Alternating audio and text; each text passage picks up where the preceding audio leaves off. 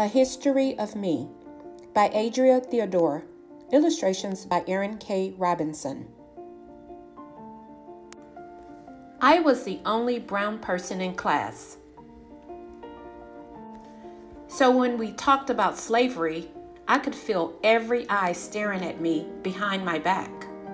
When the teacher talked about picking cotton and slave shacks and sisters being sold away separately, I wanted to slide out of my seat and onto the floor and drift out the door.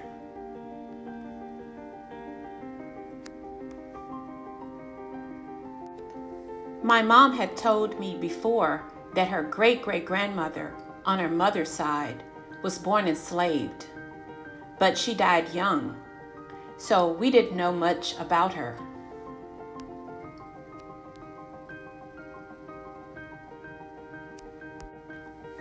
And so I should be grateful to go to school and learn. I was. I love to learn. But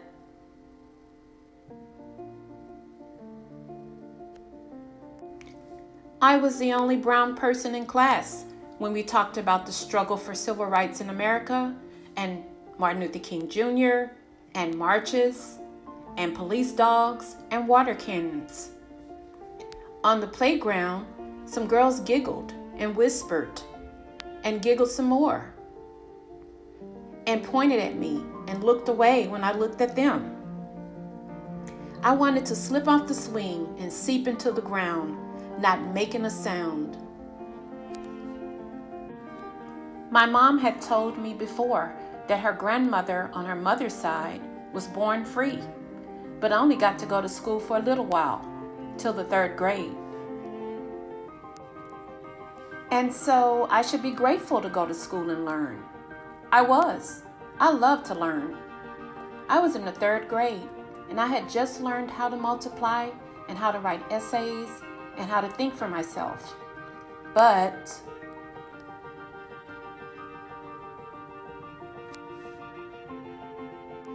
I was the only brown person walking home from school with a violin case in my hand when that boy rode by on his brand new bike and barked at me. If it wasn't for Lincoln, you'd still be our slaves. I wanted to sprint away after him and ask, Is that all you see when you look at me?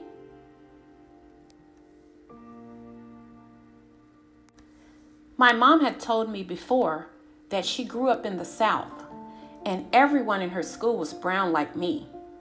She saw whites only everywhere. She wasn't mad. That was just how it was. She wanted to be a nurse. She couldn't go to school for that. So she moved up north. And so I should be grateful to go to school and learn. I was. I love to learn. I loved science. I became a doctor who writes poems and loves music. But my daughter was the only brown person in her class when they talked about slavery and when they talked about civil rights.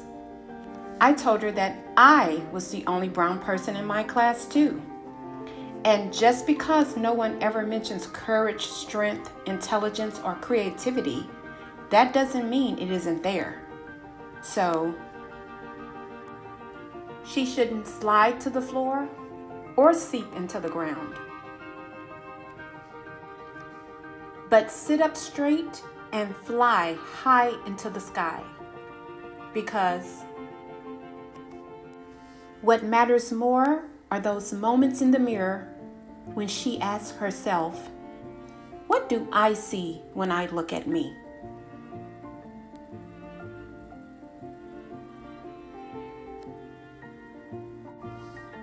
And when she does, I hope she will see that she is free to be anything she wants to be.